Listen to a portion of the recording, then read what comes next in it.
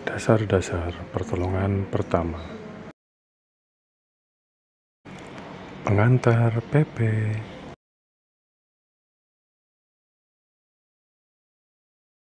Assalamualaikum warahmatullahi wabarakatuh. Pada kesempatan kali ini kita akan belajar terkait materi first aid. Apa itu first aid? Adalah pertolongan pertama.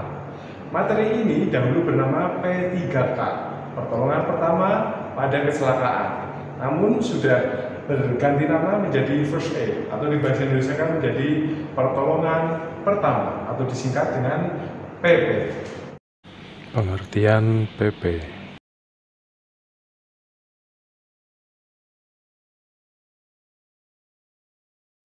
Sering terjadi kecelakaan di masyarakat, masyarakat awam itu cenderung ingin menolong, namun apakah mereka cukup untuk ilmu ataupun pengetahuan terkait dengan PP? Nah, itu belum tentu. Makanya sangat penting ilmu PP itu dipelajari oleh kita semua, baik awam terlatih maupun uh, masyarakat awam biasa. Ya, karena ternyata kepedulian itu tidak cukup hanya untuk menolong, tetapi harus disertai dengan ilmu PP. Nah, apa itu ilmu PP? Nah, kita uh, pelajari sekarang ya. Ilmu PP itu merupakan pemberian pertolongan secara segera. Nah, ini kata kuncinya adalah segera. Kepada siapa? Kepada orang sakit atau yang cedera atau yang mengalami kecelakaan yang memerlukan penanganan medis dasar. Pelaku PP atau first aider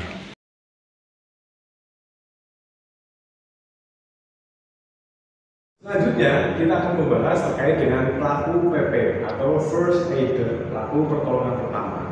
Siapakah yang masuk kriteria dalam pelaku PP? Apakah semua orang yang melihat kecelakaan bisa dikategorikan sebagai pelaku PP? Nah, kita lihat definisinya. Bahwa pelaku PP itu adalah penolong yang pertama kali tiba di tempat kejadian kecelakaan. Ya, namun ada catatan berikutnya yang memiliki kemampuan ya dan terlatih dalam penanganan medis dasar. Jadi tidak sembarang orang saat melihat sebuah kecelakaan itu bisa dikategorikan masuk kriteria kepada pelaku PP. Namun harus memiliki ilmu dasar terkait dengan ilmu medis dasar. Ya. Jadi tidak sembarang orang. Contoh nih, misalkan eh, sebagai contoh saya sedang berada di pinggir jalan, sedang nongkrong atau mungkin saya sebagai pengayuh becak ataupun eh, pekerja-pekerja yang lain. Nah, kebetulan di saat itu di perempatan jalan terjadi kecelakaan. Nah, apakah saya bisa masuk kriteria sebagai pelaku PP? Tentu tidak, karena saya belum memiliki kemampuan. Nah, apabila misalkan pengayuh becak tadi, para pekerja, atau mungkin orang-orang yang nongkrong di pinggir jalan sudah mengikuti pelatihan PP, nah itu bisa dikategorikan sebagai pelaku PP ataupun first aider. Tujuan pertolongan pertama atau PP Nah, kemudian kita akan belajar apa sih tujuan dari pertolongan pertama atau PP ini. Nah itu ada tiga level. Yang pertama adalah untuk menyelamatkan jiwa penderita. Nah ini level yang paling tinggi. Jadi kita semaksimal mungkin diharapkan selaku pelaku PP dapat melakukan penanganan terhadap para korban sehingga nantinya bisa untuk menyelamatkan jiwa penderita. Bukan berarti untuk mencegah maut, tapi kita berikhtiar semaksimal mungkin agar dapat memberikan pertolongan kepada penderita. Kemudian kita lihat tujuan PP yang kedua adalah untuk mencegah cacat. Nah ini sangat penting karena apa? Manakala terjadi sebuah luka ataupun cedera ataupun patah tulang yang menimpa kepada seorang penderita kalau tidak diberikan langkah-langkah PP di lokasi kejadian yang kemudian dirujuk ke fasilitas kesehatan entah itu klinik, puskesmas atau rumah sakit kalau tidak dilakukan tindakan PP sebelumnya nah ini yang sangat berisiko tinggi untuk terjadi kecacatan. Sehingga dalam hal ini PP bertugas atau mempunyai tujuan adalah untuk mencegah cacat bagi para penderita. Yang terakhir, tujuan dari PP adalah untuk memberikan rasa nyaman kepada penderita sekaligus untuk menunjang upaya penyembuhan. Jadi selaku pelaku PP atau first aider kita dituntut untuk memberikan rasa nyaman ya dengan rasa lembut, penuh kasih sayang, ya jangan membentak-bentak kepada penderita. Kemudian yang perlu disampaikan berikutnya adalah bahwa tindakan PP itu adalah untuk menunjang upaya penyembuhan. Nah, perlu saya sampaikan bahwa PP itu sendiri bukan tindakan medis. Jadi kalau boleh dibagi, ada tindakan PP di lokasi kejadian, kemudian dilakukan tindakan medis di fasilitas kesehatan, baik itu klinik, puskesmas ataupun rumah sakit. Jadi PP itu sendiri bukan merupakan tindakan medis. PP dilakukan adalah di lokasi kejadian, kemudian dilakukan rujukan atau merefer ke rumah sakit terdekat. Demikian untuk tiga tujuan dari pertolongan pertama. Dasar hukum pertolongan pertama.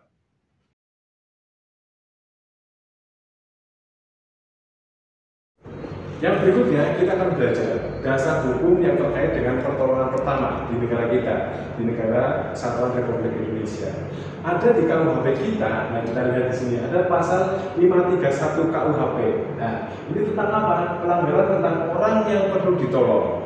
Nah, kita eh, kenapa perlu belajar ilmu PP? Karena begini saudara-saudara, ya, bahwa apabila kita ya, menemukan sebuah kondisi gawat darurat ya di lokasi tertentu gitu ya.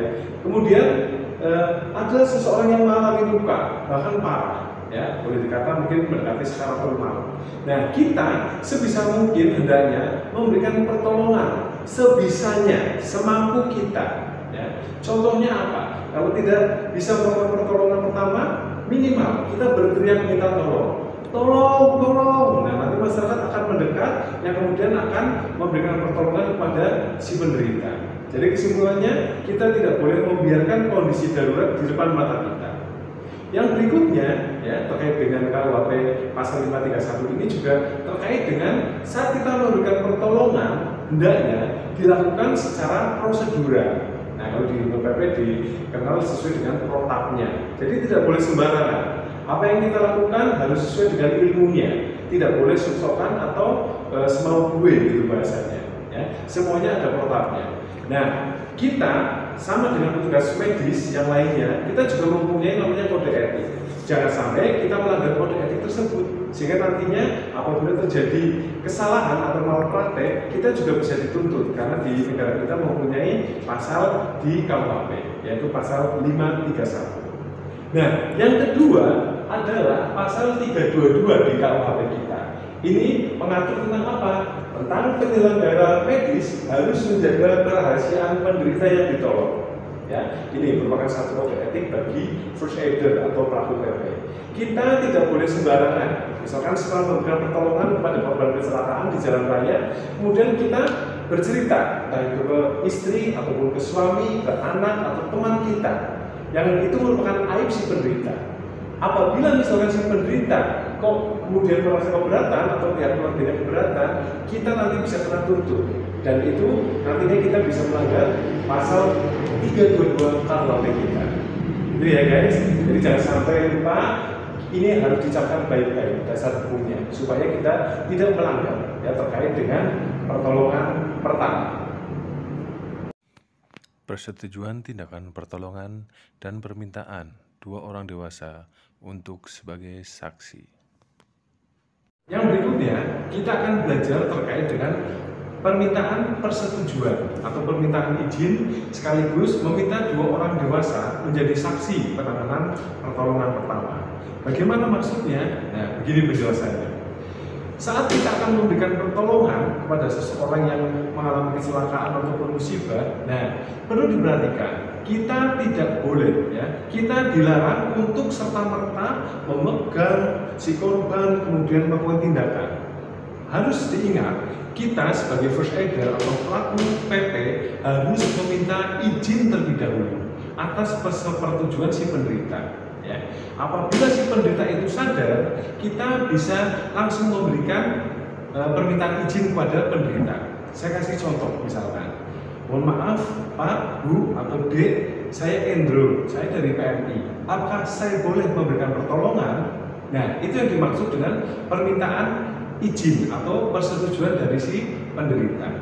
Nah, izin ini bisa secara verbal dikemukakan oleh si penderita, manakala penderita itu masih sadar penuh jadi mungkin dia menjawab, iya mas silakan mas, tolong saya mas, aduh sakit banget mas. Nah itu berarti sudah diizinkan. Atau yang sifatnya tersirat ya sebagai bahasa-bahasa isyarat atau body language tertentu sehingga nantinya kita e, mendapatkan izin dari penderita. Contohnya bagaimana? Misalkan dengan anggukan kepala, nah seperti ini, atau hanya mungkin dengan kedipan mata. Nah itu sebagai tanda persetujuan dari si penderita untuk ditolong. Nah, sekarang permasalahan kemudian adalah bagaimana kalau misalkan si penderita itu tidak sadarkan diri, ya, atau dalam kondisi tidak respon atau istilah medisnya unrespon. Bagaimana cara kita meminta persetujuan? Nah, yang pertama, kita bisa meminta persetujuan kepada keluarga terdekat. Misalkan di lingkungan sekitar ada keluarganya, tanyakan, misalkan Pak, Bu, uh, Dek, ada nggak yang ini keluarga si pasien atau penderita? Oh iya Mas, itu bapaknya tadi yang boncengan. Nah, minta izinnya misalkan ke bapaknya atau ke ibunya. Itu yang pertama. Kemudian kalau tidak ada pihak keluarga bagaimana mas? Nah adalah kita meminta bantuan ya untuk meminta persetujuan ke siapa? Ke teman ya ataupun kerabat yang terdekat. Misalkan e, tadi naik e, kendaraan motor berboncengan, tanyakan tadi boncengan sama siapa? Oh itu temannya tadi pulang sekolah bareng. Nah kita bisa menanyakan ke temannya. D misalkan atau Mas enggak ya uh, apakah saya uh, boleh memberikan pertolongan kepada temannya? Oh iya mas silakan ditolong. Nah itu berarti kita sudah mendapatkan izin atau persetujuan. Ya. Yang berikutnya permasalahannya kalau di lapangan terjadi, kalau tidak ada keluarga, tidak ada teman, tidak ada kerabat yang dikenal oleh si penderita, bagaimana? Maka kita minta izin atau persetujuan kepada orang yang berkerumun. Contohnya seperti ini, Pak, Pak, Bu, mohon izin, saya Indro, saya dari PMI, saya akan memberikan pertolongan pada si korban. Apakah saya diizinkan? Nah, kemudian nanti masyarakat itu menjawab, oh iya mas, silakan mas, ditolong mas, kasihan mas. Itu terkait dengan permintaan izin atau persetujuan. Yang berikutnya, yang tidak kalah penting adalah untuk meminta dua orang dewasa menjadi saksi kita dalam memberikan pertolongan pertama. Kita lihat di sekitar orang yang berkerumun.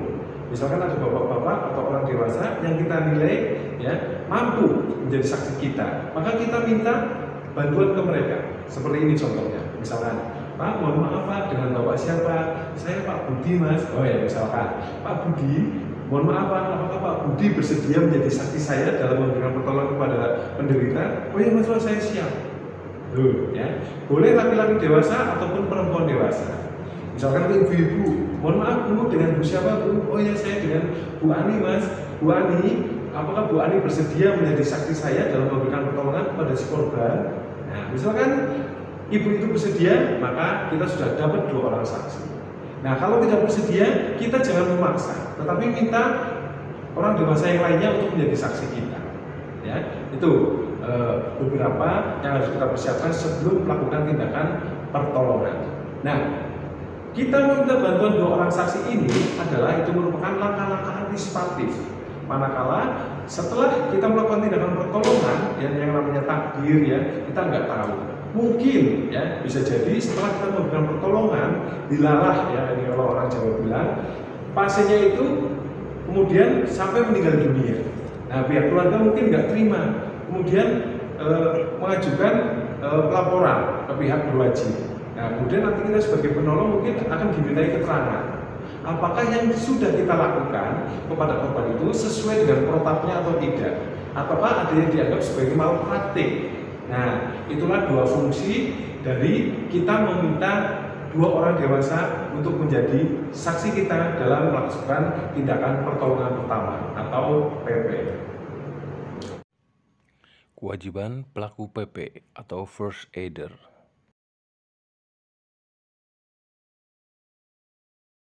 Yang berikutnya, apa saja sih kewajiban dari first aider atau pelaku pertolongan pertama? Ini bisa kita pelajari.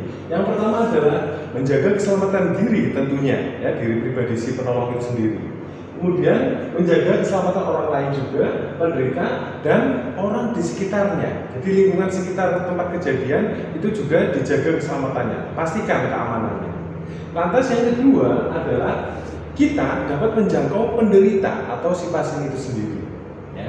Kemudian mengenali dan mengatasi masalah yang mengancam nyawa. Misalkan kalau misalkan di lalu lintas kita harus bisa mengatur lalu lintas supaya tidak membahayakan. Kemudian kalau lokasinya di daerah yang e, kebakaran, kita juga harus mengantisipasi bagaimana caranya agar jangan, jangan sampai terjadi korban itu bertambah e, banyak. Ya. Kemudian jangan lupa kita untuk meminta bantuan ya untuk merujuk ke rumah sakit terdekat. Kemudian memberikan pertolongan secara cepat dan tepat. Itu tadi kata kuncinya. Ingat dua kata, cepat dan tepat. Yang berikutnya, kita hendaknya dapat membantu pelaku PP lainnya. Apabila terjadi korban massal atau korban yang banyak, nah kita hendaknya saling membantu satu sama lain. Nah itu nanti ada tema khusus yaitu di penanganan korban banyak ya atau incident command system. Nah itu ada e, sistem labeling di mana yang diprioritaskan adalah merah, kemudian label kuning, label hijau dan yang terakhir adalah label hitam. Terus apa lagi kewajiban uh, pelaku PP berikutnya? Ikut menjaga kerahasiaan medis si penderita. Nah, tadi sudah dijelaskan di bab mengenai kerahasiaan penderita. Ada KUHP yang mengatur akan hal tersebut. Kemudian yang berikutnya adalah lakukan komunikasi dengan petugas lainnya misalkan membutuhkan ambulan, membutuhkan peralatan, apakah bidai, mitela, atau membutuhkan tandu. Nah itu harus segera. Sehingga nanti untuk tim PP dapat melakukan kegiatan bersama-sama secara apik dan. Kemudian yang terakhir dari kewajiban dari pelaku PP atau first aider ini adalah untuk mempersiapkan penderita untuk ditransportasikan ya ke fasilitas kesehatan terdekat, tempat rujukan terdekat. Apakah bisa klinik, puskesmas ataupun rumah sakit. Kualifikasi pelaku PP atau first aider.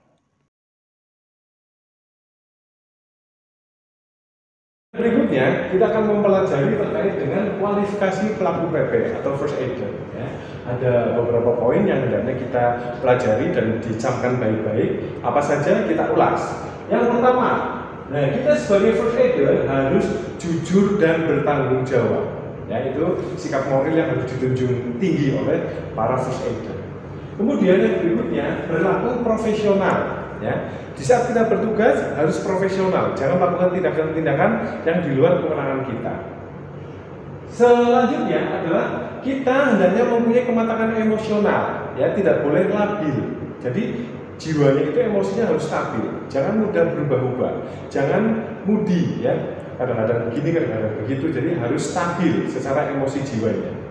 Yang berikutnya mempunyai kemampuan untuk bersosialisasi ya karena apa PP ini bisa terjadi di mana pun di jalanan, di rumah, mungkin di perkampungan, bisa di kebun, di sawah, di lapangan, di mana pun ini bisa terjadi. Sehingga kita harus mampu untuk memiliki kemampuan bersosialisasi. Yang berikutnya, hendaknya para aider itu mempunyai kemampuan nyata yang terukur. Nah, sesuai dengan sertifikasi PMI. Kalau berbicara e, di PMI. Kalau dengan organisasi yang lain harus mempunyai standarisasi sesuai dengan kompetensinya. Ya tidak asal-asalan tidak e, semau gue gitu bahasanya. Yang berikutnya nah ini dia. Kita harus selalu menjaga kondisi fisik kita agar selalu sehat dan bugar. Karena itu salah satu syarat dalam memberikan pertolongan. Jangan sampai kita memberikan pertolongan namun diri kita sendiri masih e, mengalami gangguan kesehatan ya. Sehingga kita tidak bisa maksimal untuk memberikan pertolongan dan akibat lainnya adalah kita bisa mengkontaminasi atau menularkan penyakit yang diderita oleh kita kepada si penderita. Dan yang terakhir nah sebagai first aider mempunyai rasa bangga. Ya rasa bangga ini yang dalam arti yang positif tidak berlebihan. Yang kecenderungan nanti arahnya malah ke sombong ataupun takabur jadi kita mempunyai rasa bersyukur, kita sudah bangga, kita mampu memberikan pertolongan kepada orang lain, tapi sebatas yang positif, tidak boleh berlebihan sampai ke arah sombong ataupun takabur. APD, alat perlindungan diri.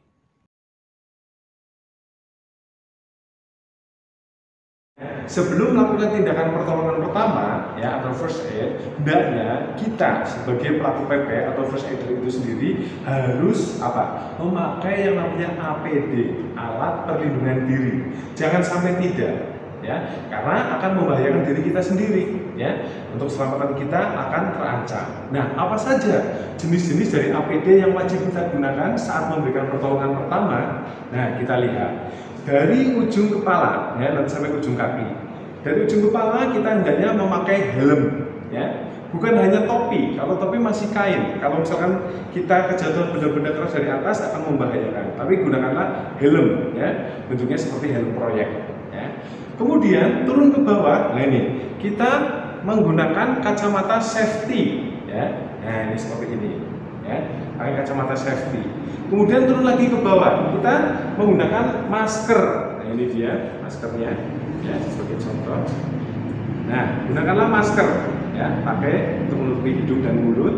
Kemudian yang berikutnya, nah kita memakai sarung tangan latex. Nah, ini contohnya ya, wajib pakai sarung tangan latex kedua tangan kita. Ya.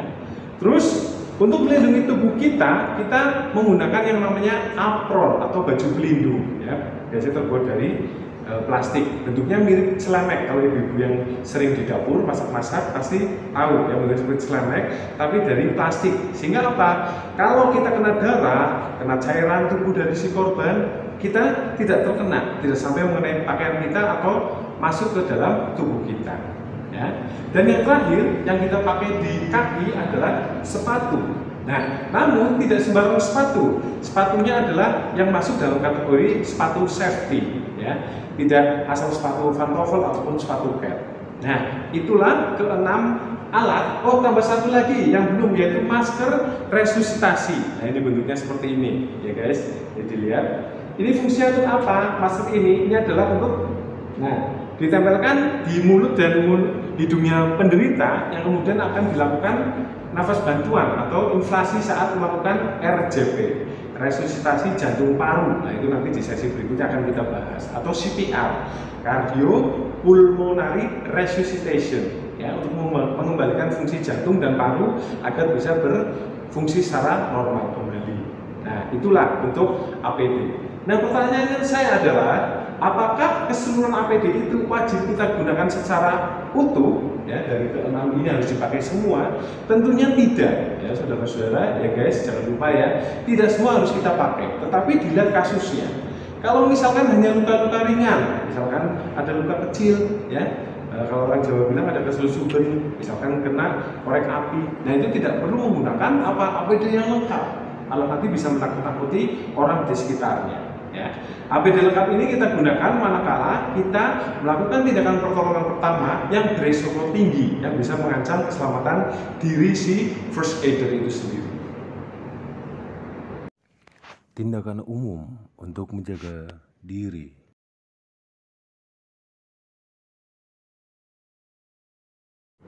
Nah, ada beberapa langkah yang hendaknya ini kita lakukan sebelum memberikan pertolongan pertama. Ini dengan, dengan tindakan umum untuk menjaga diri si pelaku PP atau first aider. Nah, ini diingat. Yang pertama adalah untuk mencuci tangan dan yang kedua adalah membersihkan peralatan yang akan digunakan. Nah, yang pertama adalah mengenai cuci tangan. Nah, kita hendaknya melakukan cuci tangan terlebih dahulu sebelum melakukan tindakan pertolongan pertama ya ada enam langkah yang biasa kita lakukan. Nah saya mempunyai sebuah jembatan keledai untuk mengingat atau menghafalkan langkah-langkah mencuci tangan. Yaitu apa? Tepung selaci pol tartar. Ya kita coba ulas satu persatu ya. Te adalah kita membersihkan telapak tangan ya. Pung yaitu membersihkan punggung tangan sela nah berarti kita membersihkan sela-sela jari kita Ci itu singkatan dari gerakan mengunci seperti ini, ya. Kemudian satunya lagi seperti ini, ya. Pol, nah itu jempol atau ibu jari kita bersihkan kanan kiri, ya, bergantian dibersihkan. Dan yang terakhir tartar. Apa itu tartar? Adalah gerakan memutar ujung jari kita. Dan gantian yang satunya lagi. Manakala terdapat kotoran-kotoran di ujung-ujung kuku kita, maka kita wajib bersihkan. Ambil sikat kuku ya khusus yang untuk sikat kuku. Jangan bercampur dengan yang sikat gigi. Nah karena itu nanti jorok ya guys. Pakai sikat kuku. Nah kalau sudah dibasuh lagi dengan urut-urutan seperti tadi tepung selaci pol tartar telapak tangan punggung tangan sela-sela jari gerakan mengunci jempol atau ibu jari dan gerakan memutar ya bisa dilakukan dengan sabun cair ataupun sabun bata namun saya sarankan akan lebih baik yang sabun cair karena tidak terkontaminasi dengan e, tubuh atau tangan orang lain. Ya.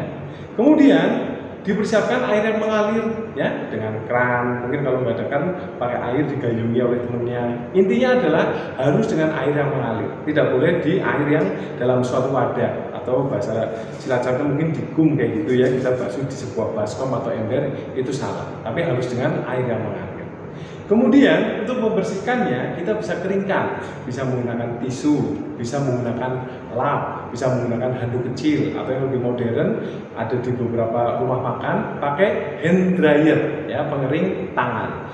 Kita tinggal letakkan tangan kita di bawahnya nanti akan kering dengan sendirinya. Atau yang model seperti ini di bawah nanti akan ada pengeringnya. Nah, apabila kita akan membersihkan menggunakan lap atau handuk kecil, Nah, dibiasakan handuk kecil itu satu sisi adalah untuk satu lengan, dibersihkan dengan gerakan memijat. Ya, sebagai fungsi adalah untuk memperlancar peredaran darah seperti ini. Ya, nggak boleh digusuk, gusuk, gusuk, gusuk seperti ini, tapi satu sisi untuk satu lengan. Ya, itu untuk teknik mencuci tangan yang baik dan benar. Hindari beberapa gerakan-gerakan yang salah. Ini biasanya kalau habis cuci tangan, cara mengeringkan tangannya masih salah Nah, yang pertama contohnya setelah cuci tangan selesai, kemudian apa? Dilap-lapin di baju kayak gini. Nah itu salah ya guys, jangan lupa. Terus kemudian kesalahan yang kedua, setelah cuci tangan biasanya apa yang dilakukan? Dicipret-cipretin kayak gini, ya, entah ke temennya atau ke mana. Percuma, akhirnya apa? Kotor lagi. Tembok, wastafel di sekitarnya akhirnya kotor lagi. Dan yang terakhir ada kesalahan yang berikutnya, ini khusus mungkin yang cowok-cowok ya guys, jangan sampai uh, terjadi. Setelah cuci tangan, kemudian apa? Dilap-lapin di rambut kayak gini, ya nah kayak gini misalkan nah itu akhirnya apa kotor lagi tangannya percuma sehingga nanti kalau kita akan makan sesuatu kemudian kotoran yang ada di tangan kita ikut tertelan nah itu yang akan berakibat bisa diare, mencret dan seterusnya ya. Itu langkah untuk mencuci tangan. Yang berikutnya nah. hendaknya alat-alat yang akan kita pakai entah itu pembalut, mitela, kemudian ada bidai atau spalek ya ataupun tandu yang akan kita gunakan hendaknya dalam kondisi yang bersih, syukur-syukur steril ya. Jangan sampai masih kotor, masih ada noda-noda darah dalam penanganan kasus PP sebelumnya karena nanti bisa berakibat buruk bagi kesehatan si penderita maupun diri si pelaku PP itu sendiri. Peralatan pertolongan pertama PP Kit atau First Aid Kit. PP Kit atau peralatan PP. Apa saja isinya? Nah, ini yang harus kita persiapkan. Nanti kemudian diletakkan ke dalam tas PP. Bisa yang bentuknya seperti ini, ya.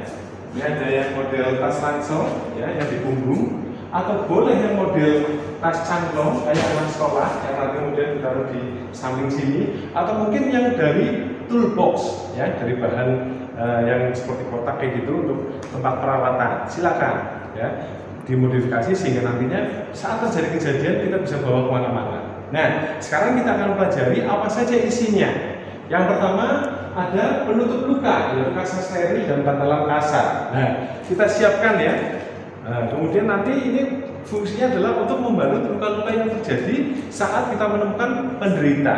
Ya. Kemudian adalah pembalut. Nah, kita bisa menggunakan pembalut yang berbagai macam ukurannya bisa kita gunting juga atau yang sudah tersedia di pasaran di alat kesehatan maupun apotek terdekat adalah pembalut dengan ukuran macam-macam tergantung dari lebar lukanya. Nah, namun yang saya perkenalkan kalau di PMI kita menggunakan mitela. Ini bisa berfungsi sebagai pembalut, ya. Bisa nantinya berfungsi sebagai sling atau gendongan lengan, atau bisa juga nanti sebagai pengikat bidai, ya. Nah, mitela ini bentuknya segitiga seperti ini, ya. Sehingga kalau kita beli bahan di toko kain gitu ya, beli satu meter kemudian dibagi secara diagonal, ya dipotong secara diagonal yang kemudian tepi-tepinya kita obras atau kita neci sehingga akan e, rapi seperti ini. Ya ini dikenal dengan mitela N I T E L L A jadi double L ya. Fungsinya macam-macam. Nanti di e, slide video berikutnya kita akan belajar terkait dengan pembalutan ya yang berikutnya adalah cairan antiseptik ya kita siapkan nah, itu nanti untuk membersihkan daerah di sekitar luka yang berikutnya, cairan pencuci mata. Apabila terjadi luka di sekitar mata si penderita, itu wajib kita persiapkan. Kemudian peralatan stabilisasi. Nah, yang sering kita pakai adalah bidai. Nah, bisa kita lihat ini contohnya. Bidai. Kalau yang disiapkan ini adalah namanya bide kayu. Karena terbuat dari bahan kayu. Cuma dilapisi sehingga akan lebih nyaman apabila kita gunakan untuk menolong patah tulang si penderita kita. Bisa melihat ini ada yang warna pink maupun yang biru. Untuk warna tidak ada ketentuan. Ini hanya untuk kesukaannya aja terserah namun yang jelas ukurannya itu macam-macam. Ada yang panjang, ada yang sedang, ada yang pendek, ada yang lebih pendek lagi. Bergantung di daerah mana, organ mana terjadi patah tulang. Baik itu patah tulang tertutup maupun patah tulang terbuka. Ini namanya, namanya bidai. Kemudian nah kita siapkan gunting. Nah ya di tas PP kita siapkan gunting ya. Ini untuk gunting plaster, asa ya. Terus juga melakukan exposure juga menggunakan gunting. Apa itu exposure? Nanti di uh, materi berikutnya akan saya jelaskan ya. Yang berikutnya ada pinset nah ini. Kita siapkan pinset ya guys. Jangan lupa kita pakai pinset tadi udah pakai sarung tangan latex terus pakai pinset sehingga kita tidak langsung membersihkan luka menggunakan tangan kita tangan kosong tetapi wajib menggunakan pinset ini ya ambil kapas dikasih larutan antiseptik kemudian untuk membersihkan daerah di sekitar luka atau untuk mengambil alat-alat tertentu ya pakai pinset ini ya. Next yang berikutnya adalah center atau pen light ya. Bukan center yang besar itu guys tapi center yang kecil nih. Bentuknya kecil seperti ballpoint ya. Nah ini sangat portable banget nih. Ini bisa ditaruh di kantong kayak gini sangat mudah ya kecil ukurannya. Nah kita lihat nih. Nih ini ada on off nya nah ini dilihat kan sudah nyala ya. Ini fungsinya adalah untuk apa? Untuk mengecek pupil mata penderita. Ya kita buka bola matanya terus kemudian kita sinari menggunakan pen light ini.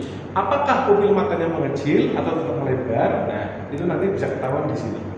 Kalau secara normal yang tidak mengalami gangguan sirkulasi darah, kalau kita sinari, pupil mata itu akan mengecil.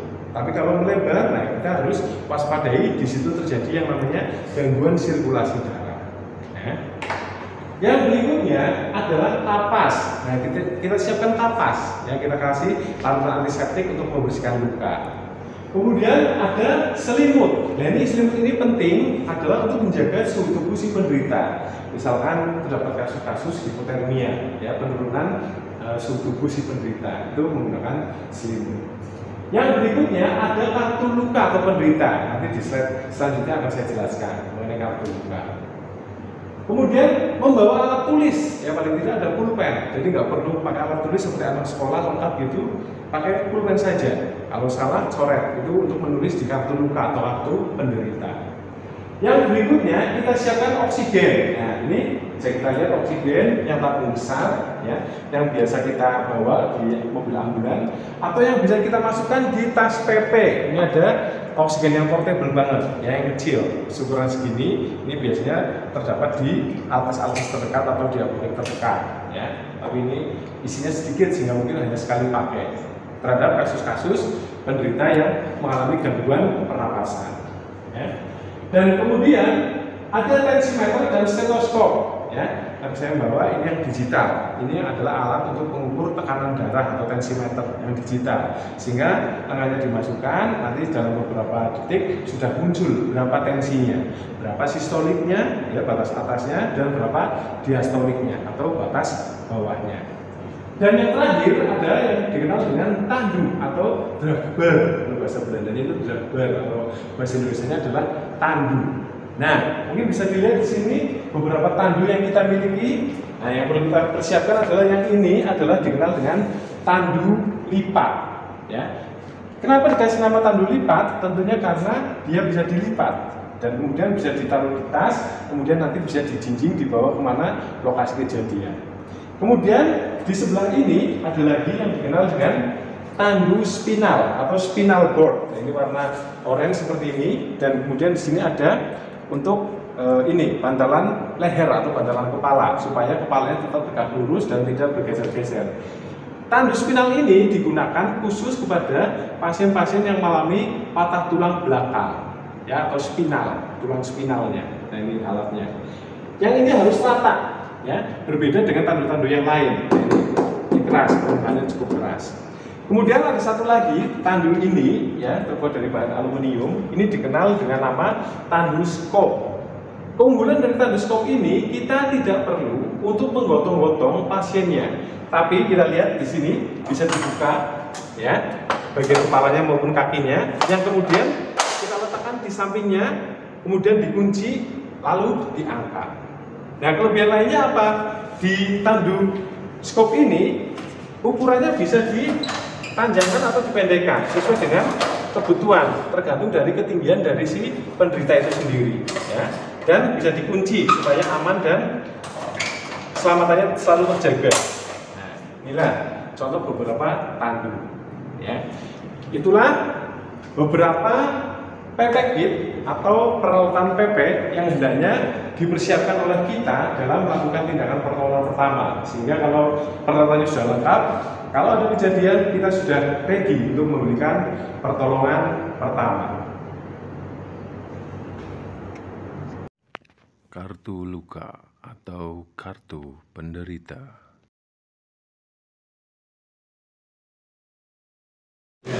Untuk pengetahuan yang terakhir, untuk sesi dasar-dasar pertolongan pertama, ada yang dikenal dengan istilah kartu luka atau kartu penderita. Nah, kartu ini yang wajib disiapkan oleh kita, para pelaku PP atau first aider. Ya.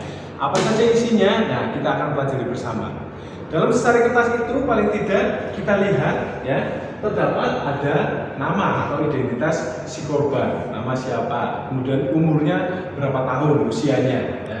Kemudian apalagi yang e, dilihat di situ? Nah kita lihat kesan umumnya apa? Ya, apakah trauma atau medis? Kasus trauma medis ya, itu harus dituliskan di situ. Terus kemudian tingkatan responnya, apakah awas, suara, nyeri, atau unrespon atau tidak respon. Nah itu harus dituliskan di situ supaya nanti tenaga medis yang ada di rumah sakit mengetahuinya. Yang berikutnya adalah gangguan pernapasan ada atau tidak. Ya, itu harus dituliskan juga. Yang selanjutnya, apa cedera yang dialami oleh si penderita? Apakah penderita mengalami luka, ya luka apa? Luka sayat, ya, luka tembak, kemudian ada luka gores dan lain sebagainya, dituliskan. Ya. Terus apabila pendarahan tersebut eh, cukup parah, maka dikasih keterangan. Ya. Tuh. Kemudian selain luka juga bisa terjadi juga adalah kasus patah tulang atau fraktur, ya apakah patah tulang terbuka atau tertutup juga perlu dituliskan di kartu luka. Kemudian pertolongan pertama yang dilakukan oleh tim PP ya atau safety man ini kalau di perusahaan di pabrik-pabrik gitu ya. Apa yang sudah dilakukan? Contoh adalah pembalutan terhadap luka sayat yang terjadi. Terus kemudian contoh adalah pembidian pada patah tulang di lengan bawah kanan. Terus kemudian ada patah tulang di tungkai atas kiri ya. Terus misalkan ada luka tusuk yang masih ada benda menancap di perut bagian kiri ya. Terus misalkan ada organ dalam atau usus yang terburai di perut sebelah kanan. Nah apa yang dilakukan? Itu perlu dituliskan di yang namanya kartu luka ya jadi perlu saya sampaikan misalkan kalau satu tim itu ada lima orang paling tidak ada satu tim leadernya ada satu yang menulis kartu luka sebagai tim penulis kemudian yang tiga ini adalah sebagai pelaku PP-nya ya nanti bekerja sama untuk melakukan tindakan-tindakan pertolongan pertama. Terus kemudian apalagi yang perlu dicantumkan di kartu luka yaitu adalah tanda vital. Nah, itu ada lima ya tanda vital mulai dari frekuensi nadi, frekuensi napas, ya, terus kemudian juga suhu atau temperatur, ya, suhu tubuh tentunya, kemudian ada tekanan darah atau tensi, dan yang terakhir adalah kulit, yaitu ada kelembaban dan warna kulit. Nanti untuk eh, selanjutnya akan saya jelaskan di slide video berikutnya. Ya. Terus yang terakhir kita tuliskan juga riwayat penderita. Nah nanti akan ada sesinya, ada singkatannya, akronimnya dikenal dengan istilah kompak. Ya. Ada yang dikenal dengan keluhan utama. Kemudian obat-obatan yang terakhir dikonsumsi. Kemudian M, makanan atau minuman yang terakhir dikonsumsi oleh si penderita. Kemudian P, apa penyakit yang diderita? Kemudian A, alergi. Apakah ada alergi di tubuh si korban sehingga korban akhirnya tidak sadarkan diri contohnya. Dan yang terakhir jangan lupa untuk menanyakan kronologis kejadian supaya kita mengetahui tadi kesan umumnya apakah karena kasus trauma ataukah kasus medis ya. Nah, kemudian ada dua gambar, penampang gambar yang tampak depan dan tampak belakang. Nah, ini hendaknya dikasih e, simbol tertentu atau tanda khusus sehingga nanti para petugas medis di rumah sakit akan mengetahui apakah terjadi luka atau cedera atau patah tulang di organ bagian mana. Ini, sekarang kita akan belajar, saya contohkan seperti ini.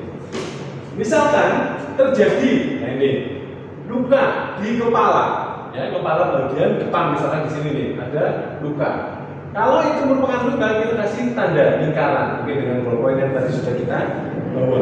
Ya. Terus kemudian terjadi lagi luka misalkan di sini di perut, kita lingkari perutnya. Ya, ada pendarahan yang di sini lingkar. Terus kemudian kalau ada patah tulang, kita beri tanda X atau tanda silang. Ya, misalkan nih di tungkai bawah kiri, di sini kita kasih tanda silang. Ya, Terus berikutnya, misalkan terjadi luka atau cederanya di bagian belakang, maka di penampang tubuh manusia ini yang tampak belakang kita kasih tanda. Misalkan di kepala bagian belakang terjadi apa? Kebocoran, artinya pendarahan di kepala bagian belakang. Maka di sini dikasih tanda lingkaran Ya. Terus kemudian misalkan di sini tungkai atas kanan terjadi patah tulang, kita kasih tanda silang di sini. Ya, itulah fungsi dari kartu luka